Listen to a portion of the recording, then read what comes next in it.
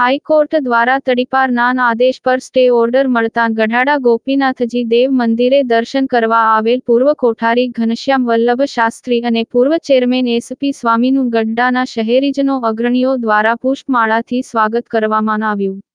બોટાદ જિલ્લામાં શ્રદ્ધાનું કેન્દ્ર એવું શ્રી ગઢપુરપતિ ગોપીનાથજી દેવનું મંદિર છેલ્લા ઘણા સમયથી આંતરિક વિખવાદ, રાજકીય વગનો દુરુપયોગ લાલચુ અધિકારીઓ પાસે ગેરકાયદેસરની કાર્યવાહી કરાવવાના આક્ષેપો જેવી બાબતોને કારણે ખૂબ જ ચર્ચામાં રહ્યું છે.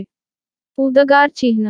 ત્યારે શ્રી ગોપીનાથજી દેવ મંદિર ટ્રસ્ટના ટ્રસ્ટીઓ દ્વારા ટ્રસ્ટના બંધારણની સ્કીમ મુજબ મીટિંગ યોજવા અને કોરમ પૂરું થવાની આંતરિક બાબતો તમામ ટ્રસ્ટમાં થતી હોય છે, પરંતુ પોલીસ અધિકારી ડસ્ટ નકુમ દ્વારા તત્કાલીન નવનિયુક્ત ચેરમેન પાર્ષદ શ્રી રમેશ ભગતને અપમાનિત કરી.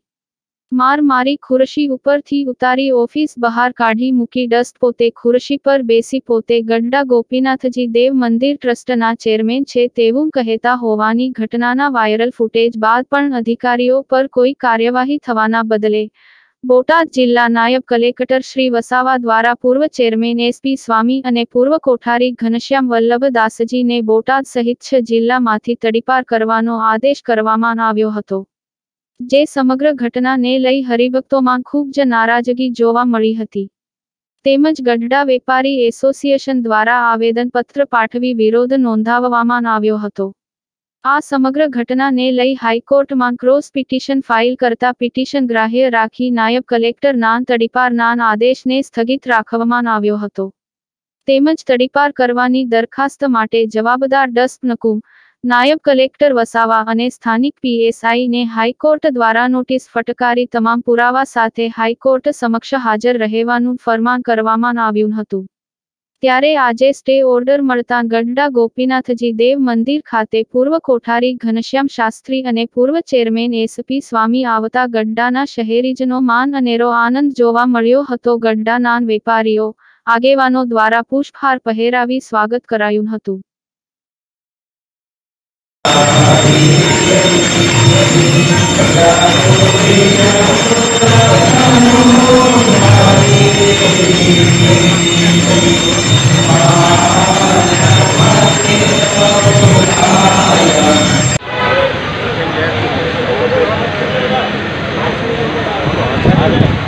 ગોપીનાથજી મહારાજ ના માસ્ક બધા પહેરી લેજો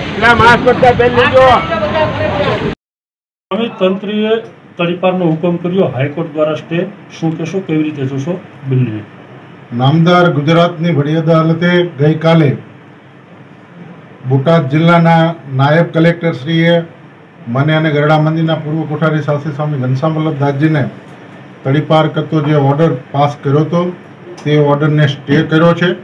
અને સાથે બોટાદના ડીવાયએસપી નકુમ અને પીઆઈ વાળા એને પણ નોટિસ કરી છે. ગુજરાતના ન્યાયતંત્ર ઉપર અમને સંપૂર્ણ વિશ્વાસ છે. તો સૌથી મોટી દુઃખની વાત એ છે કે મહાત્મા ગાંધી અને સરદાર વલ્લભભાઈ પટેલ, નરસિંહ મહેતાથી માંડી અને સ્વામિનારાયણ ભગવાન જેવા મહાન સંતો ભગવાનો આ પૃથ્વી પર થઈ ગયા. અહીંયા ભગવા વસ્ત્રનો ખૂબ મહિમા છે ગુજરાતની અંદર. અને કોઈ તંત્ર દ્વારા આ ભગવા વસ્ત્રને અપમાનિત કરવા માટેનું ષડયંત્ર થાય ગુજરાતમાં અને પ્રતિષ્ઠિત સાધુ સંતોને તડીપાર કરવાના ઓર્ડરો થાય અને ગુજરાતમાં કોઈ કાંઈ એનો ભૂલે નહીં એવા અધિકારી ઉપર કોઈ એક્શન ન લેવાય, આ બહુ મોટી દુર્ભાગ્યની બાબત છે. પણ ગુજરાતની નામદાર વડી અદાલતે આ હુકમને સ્ટે કર્યો છે અને જેના કારણે આજે અમે ગરડા ગોપીનાથજી મહારાજના સંકુલની અંદર દર્શનમાં આવ્યા છીએ. ગરડા ગામના સમગ્ર નગરજનો ખૂબ આજે આનંદિત છે. આજે આખું ગામ ભેગું થઈને સન્માનિત કરવા માગતું હતું, પણ આ રાજ્ય સરકારના કોરોનાના નિયમોને અનુસાર અમે સ્પષ્ટ ના પાડી છે. અને ગરડા નગર વતી ગામના નગરપાલિકાના પ્રમુખ અને આગેવાનો જ અમારું સ્વાગત કરે એવી અમે રજા આપી છે એ લોકોના આગ્રહના હિસાબે. અને એ પ્રમાણે સમગ્ર ગરડાના નગરજનોએ ગામની અંદર અમારું સ્વાગત કર્યું છે.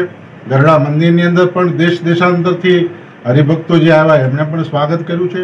અમને ખૂબ આનંદ થયો છે કે ગોપીનાથજી મહારાજની અમે જે સંસ્થાની સેવા કરી અને લોકોના હૃદયની અંદર અમારું સ્થાન છે, એ સ્થાન આજે અમને દેખાણું છે.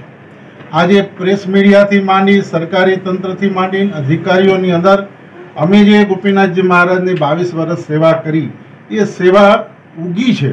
અમારી પાછળ ગમે એવા ષડયંત્રો કર્યા. એ ષડયંત્રો આજે ઉજાગર થયા છે ઓપન થઈ ગયા છે અને અમારી અમારી વાસ્તવિક સ્થિતિ જે છે એ સમાજને આજે ધ્યાનમાં આવી છે. માટે આજે ગુજરાત વડી અદાલતના કારણે અમે ગોપીનાથજી મહારાજના મંદિરની અંદર દર્શને આવ્યા છે. ષડયંત્રનો જે આક્ષેપ કરો છો તો મુખ્ય ષડયંત્ર રચના કોણ હોઈ શકે? ગરડા મંદિરની અંદર ચૂંટણી થયેલી. અને એ ચૂંટણીની અંદર એ લોકો ચૂંટણી જીતી શકે એમ નહોતા હરિજીવન સ્વામીની બધા એ ખોટી ચૂંટણી કરીને જીતીને બેસી ગયેલા છે. અને અમે જો અહીંયા રહીએ તો એનો વહીવટ ચાલી શકે એમ નથી. વિરોધ જબરજસ્ત થાય છે. એટલે આવા અધિકારીઓની પાસે એનકેન પ્રકારે આવા ખોટા ઓર્ડરો કરી અમને બહાર રાખી અને અનલીગલી અને ખોટો વહીવટ ચલાવવા માંગી રહ્યા છે. આગે આગામી દિવસોમાં હાઈકોર્ટમાં કેવા પ્રકારની કામગીરી તમારા દ્વારા કરવામાં આવશે નામદાર ગુજરાત હાઈકોર્ટની અંદર, ગરડા મંદિરની અંદર છ બાર બે હજાર વીસના રોજ જે મિટિંગ યોજાણી હતી અને એમાં ટ્રસ્ટના ચેરમેન રમેશ ભગત બનાવવામાં આવ્યા હતા, એ પણ ચેલેન્જ હાઈકોર્ટની અંદર કરવામાં આવ્યું છે અને એમાં ડીવાયએસપી નકુમ દ્વારા જે ગાળો બોલવામાં આવી હતી, એ પણ પિટિશન બાકી છે. આ તો કોરોના કારણ, કોરોનાને કારણે આ બધી મેટરો ચાલતી નથી, પણ હવે આ કોર્ટ શરૂ થઈ છે અને મેટરો ચાલશે અને અમને ન્યાય મળશે, એમાં અમને કોઈ શંકા નથી. Окей.